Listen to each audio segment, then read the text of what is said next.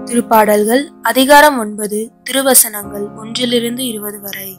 ஆண்டவரே என் முழு இதயத்தாலும் உம்மை புகழ்வேன். வியத்தகு உம் செயல்களை எல்லாம் எடுத்துரைப்பேன்.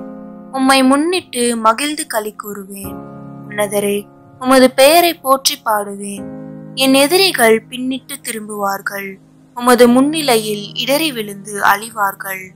நீர் நீதியுள்ள நடுவராய் அரியணையில் வீற்றிருக்கின்றீர். என் வழக்கில் எனக்கு நீதி வழங்கினீர். வேற்றினத்தாரை கண்டித்தீர் பொல்லாரை அழித்தீர்.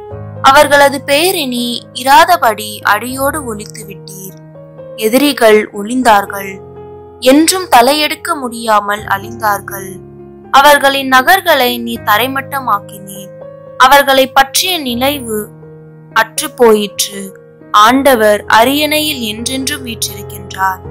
நீதி வழங்குவதற்கென்று அவர் தம் அரியணையை அமைத்திருக்கின்றார். உலகிற்கு அவர் நீதியான தீர்ப்பு வழங்குவார். மக்கள் இனத்தாருக்கு நேர்மையான தீர்ப்பு கூறுவார். ஒடுக்கப்பட்டோருக்கு ஆண்டவரே அடைக்கலம். நெருக்கடியான வேலைகளில் புகலிடம் அவரே. உமது பெயரை அறிந்தோர் உம்மில் நம்பிக்கை கொள்வர். ஆண்டவரே உம்மை நாடி வருவோரை நீ கைவிடுவதில்லை. சியோனில் தங்கியிருக்கும் ஆண்டவரை புகழ்ந்து பாடுங்கள். அவருடைய செயல்களை மக்கள் இனத்தாரிடையே அறிவியுங்கள். ஏனெனில் இரத்தப்பழி வாங்கும் அவர் எளியோரை நினைத்து கொள்கின்றார். அவர்களின் கதறலை அவர் கேட்க மறவார். ஆண்டவரே என் மீது இரக்கமாயிரும். என்னை பகைப்போரால் எனக்கு வரும் துன்பத்தை பாரும். சாவின் வாயினின்று என்னை விடுவியும். அப்பொழுது மகள் சீயோனின் வாயில்களில் உன் புகழ் அனைத்தையும் பாடுவேன். நீர் அளிக்கும் விடுதலை குறித்து அகமகிழ்வேன். வேற்றினத்தார் வெட்டிய குழியில் அவர்களே விழுந்தனர். அவர்கள் மறைத்து வைத்த வ- வலையில் அவர்கள் கால்களே சிக்கிக் கொண்டன. ஆண்டவர் நீதியை நிலைநாட்டுவதன் மூலம் தம்மை வெளிப்படுத்தியுள்ளார்.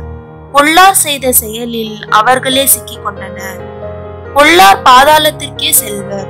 கடவுளை மறந்திருக்கும் வேற்றினத்தாரும் வேற்றினத்தார் யாவரும் அங்கே செல்வர். மாறாக வலியவர் என்றுமே மறக்கப்படுவதில்லை. எளியோரின் நம்பிக்கை ஒருபோதும் வீணாக போவதில்லை. ஆண்டவரே எழுந்தருளும். மனிதனின் கை ஓங்க விடாதேயும் வேற்றினத்தார் உமது முன்னிலையில் தீர்ப்பு பெறுவார்களாக. ஆண்டவரே அவர்களை திகிலடைய செய்யும்.